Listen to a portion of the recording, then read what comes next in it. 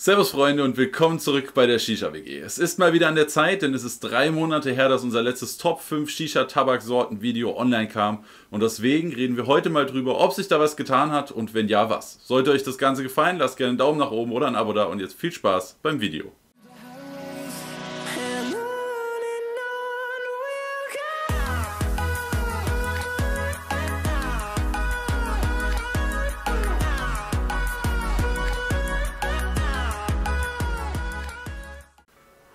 So, da sind wir wieder, wie gesagt, heute unser Top 5 Lieblingssorten Video. Wir quatschen mal drüber, was wir im Moment so am liebsten rauchen, was am besten geht und was uns am meisten schmeckt. Und ich würde sagen, wir labern nicht lange rum, wir fangen auch direkt mit Warrens Platz Nummer 5 an. Platz Nummer 5 unserer Lieblingstabaksorten, erstmal von mir, ist auf jeden Fall der Cavalier bzw. CV Gaza. Ihr habt eine Blaubeere Litchi mit einer Mentholnote dabei und äh, ja, ich muss einfach sagen, es ist immer noch einer der, der, wenigen Tabaksorten, die ich wirklich jeden Tag rauchen kann, die ich jeden Tag im Kopf haben kann und das mir auf jeden Fall nicht zu viel wird. Das ist auf jeden Fall für mich ein Anlass, den auf Platz Nummer 5 zu packen, weil er auf jeden Fall sehr gut ist, sehr gut ist und umgesetzt ist. Auch für mich ist der Cavalier Gaza auf jeden Fall ein brutal guter Tabak. Er hat es leider nicht ganz in die Top 5 geschafft. Dafür ist er mir ein kleines bisschen zu parfümig und intensiv. Diese Litchi-Blaubeere, die da drin ist, ist wirklich schon heftig. Also deswegen könnte ich es jetzt nicht jeden Tag rauchen, aber ich kann auf jeden Fall verstehen, warum der Warren das auf seinen Platz 5 gepackt hat. So, dann mache ich weiter mit meinem Platz 5 und das ist der Pulp Fiction von X-Racher. Ein Erdbeere- und Himbeertabak mit Eisnote versetzt. Ich muss sagen, unglaublich lecker. Ich war sehr, sehr überrascht. Ich habe den auf dem Tasting im Wolke 7, da ist es, im Wolke 7 Laden beim Jakob probiert und musste mir auch direkt eine Dose holen, weil es einfach unglaublich lecker war. Ich wusste erst nicht, was drin sein soll. Ich habe eine Erdbeere rausgeschmeckt mit einer ordentlichen Eisnote, war sofort begeistert, habe dann noch festgestellt, okay, da soll noch Himbeere drin sein. Sie geht zwar ein bisschen unter, was eigentlich eher ein Negativpunkt wäre, aber ich finde ihn trotzdem so brutal lecker, dass es einfach ein verdienter fünfter Platz ist. Der X-Racher Pulp Fiction ist auf jeden Fall ein brutal geiler Tabak. Ich kann auf jeden Fall verstehen, dass der bei dir auf Platz Nummer 5 gelandet ist. Bei mir hat er es allerdings nicht ganz geschafft, einfach aus dem Grund, dass er, er ist nicht schlecht, sondern er ist einfach, ich habe ihn zu wenig geraucht. Mhm. Es ist einfach, es ist ein sehr, sehr geiler Tabak und er, er verdient auch den Platz Nummer 5. Allerdings habe ich den jetzt das erste Mal geraucht, beziehungsweise die ersten drei Male und deswegen da kann sich noch keine Liebe entwickeln, so wirklich. Aber ich denke mal, vielleicht in den nächsten Videos oder so könnte sich da auf jeden Fall was ändern. Platz Nummer 4 bei mir ist der 187 Hamburg. Es ist ein Weitbeeren-Mix mit einer guten Mentholnote. Gefällt mir ziemlich gut. Mittlerweile auch schon zwei oder sogar drei Dosen davon weggeraucht und ich mag ihn von Tag zu Tag mehr. Deshalb auf Platz Nummer 4. Ja, der 187 Hamburg, auf jeden Fall ein brutaler Tabak. Ich finde ihn auch unglaublich lecker. Ich muss nur einfach sagen, ich kann ihn jetzt nicht so oft rauchen, dass ich sagen würde, okay, der muss auf jeden Fall in meine Top 5, aber ich kann eigentlich nichts Negatives über den Tabak sagen, deswegen auf jeden Fall solide Entscheidung für einen vierten Platz in der Top 5. Mein Platz Nummer 4. Ich denke, der wohl meistgerauchteste Shisha-Tabak weltweit und eine der traditionsreichesten Sorten die es so gibt. Ein Doppelapfel, aber welcher genau? Der von Savu. Der Savu Tuana, für mich einfach ein absolutes Brett. Vielen ist er viel zu intensiv. Ich feiere ihn einfach brutal. Ich finde diese kranke Anisnote in dem Tabak einfach so geil. Und die Doppelapfelnote ist einfach absolut brutal. Wenn ihr den raucht und ihr dem ein bisschen Hitze gibt, dann merkt ihr einfach förmlich, wie eure Zungenspitze langsam taub wird. Und ich feiere es einfach brutal. Ich liebe Doppelapfel und das ist für mich mit Abstand der beste, den man in Deutschland kaufen kann. Savu Tuana auf Platz Nummer 4. Ich kann es eigentlich absolut verstehen, dass du ihn bei dir auf die Top 4 gepackt hast.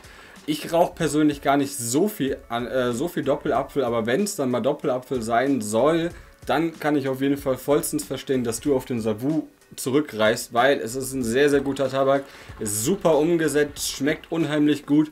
Wir wollten eigentlich darüber ein Review drehen und ehe wir das Review drehen konnten, war der auch schon leer. Sorry. Von daher, ich kann es auf jeden Fall verstehen, ist ein sehr, sehr guter Doppelapfel und verdienter Platz Nummer 4. Kommen wir zum Platz Nummer 3 und da verbirgt sich ein Tabak, der jetzt erst bald auf den Markt kommt und da handelt es sich um den Darkside Generous Raspberry. Es ist ein Himbeertabak, aber es ist halt einfach ein Dark Blend Himbeertabak. Diese Himbeernote ist einfach unheimlich gut getroffen. Ich habe den das erste Mal auf der Messe geraucht und dachte mir so, holy shit, davon musst du dir auf jeden Fall was kaufen. Bin dann auch direkt zum Stand gelaufen und habe mir da auch Tabak geholt. Und ähm, ich glaube, es sind sogar von uns beiden drei oder vier, ähm, vier Dosen bzw. Also ich Packungen habe geholt. hab auf jeden Fall zwei direkt geholt. Ich Ja. konnte nicht widerstehen. Und das ist einfach ein unheimlich geiler Tabak. Es ist auf jeden Fall definitiv nichts für jedermann, weil ich meine, Dark Blend und so, es ist auf jeden Fall schon irgendwie ein kleines, ja, Ist schon ein kleines bisschen härter als ist schon, normaler ja genau. Tabak. Gerade wir haben den auch noch in Core gekauft, nicht in der Base-Version. Aber es, genauso mögen wir es. Wir mögen es einfach, wenn er mal richtig gut ballert und das kann er auf jeden Fall. Mein Platz 3 ist exakt der gleiche. Ich habe da auch den Genesis Raspberry von Darkside hingepackt. Einfach einer der wenigen abnormal guten Raspberry- bzw. Himbeer-Tabaksorten, die es so auf dem Markt gibt. Wie der Warren schon gesagt hat, wir haben ihn in der Core-Variante geholt. Ist jetzt eher was, wenn man wahrscheinlich schon einen Ticken länger Shisha raucht. Wenn ihr noch nicht so lange raucht, dann holt euch lieber die Base oder versucht eine der anderen Sorten, die wir so in der Top 5 haben. Weil der in der Core-Variante ist auf jeden Fall schon ordentlich stark. Also ungeübte Raucher könnten da definitiv den einen oder anderen heftigen Nikotinflash bekommen. Aber wer ihn rauchen kann, er ist es auf jeden Fall wert. Ein unglaublich leckerer Himbeertabak. Kommen wir zum Platz Nummer 2 und ja, ihr habt es auf jeden Fall schon öfter mal in den Streams gesehen. Ihr könnt es euch eigentlich mittlerweile auch schon fast denken. Es handelt sich um einen Holster Eiskaktus. Ihr habt eine Kaktusnote und halt eben einfach eine Eisnote. Das ist es auch einfach. Aber es ist einfach was Außergewöhnliches. Ich habe das so noch nie geraucht. Es soll so gehen in diese, ja, in diese Kaktus prickelnde Eisvariante. Gefällt mir auf jeden Fall ziemlich gut, spiegelt das auch gut wider und äh, für mich ein verdienter Platz Nummer 2. Auch für mich ist auf Platz 2 der Holster Eis Kaktus. Wie der Warren schon gesagt hat, soll das genauso schmecken wie dieses typische Kaktuseis, das so viele von uns früher am Badesee oder im Schwimmbad gegessen haben. Und ich finde, es kommt erstaunlich nah ran. Ich muss noch dazu sagen, am Anfang war ich irgendwie gar nicht so begeistert von dem Tabak. Also die ersten paar Köpfe, die ich davon geraucht habe, waren eher so, hm, ja, ist ganz nett, aber weiß ich nicht. Und dann war die Dose irgendwie trotzdem nach zwei Tagen leer und ich habe sofort eine nächste gewollt und habe mir dann auch sofort die nächste geholt und konnte nicht mehr aufhören. Und seit ich das angefangen habe, habe ich ihn eigentlich immer daheim, wann auch immer es geht.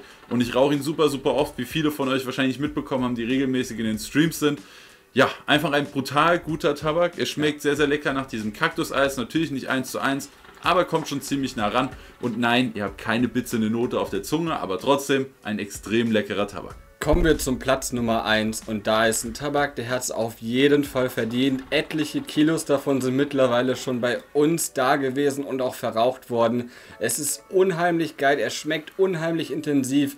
Ja, er ist manchmal vielleicht ein Ticken zu feucht, aber das kann man ihm einfach verzeihen, weil er einfach einen sehr geilen Schnitt hat. Man kann mit dem super einen Kopf bauen, ohne ihn irgendwie noch nachschneiden zu müssen oder ähnliches. Von daher auf Platz Nummer 1 definitiv verdient, weil er so unheimlich geil ist und so oft geraucht wird.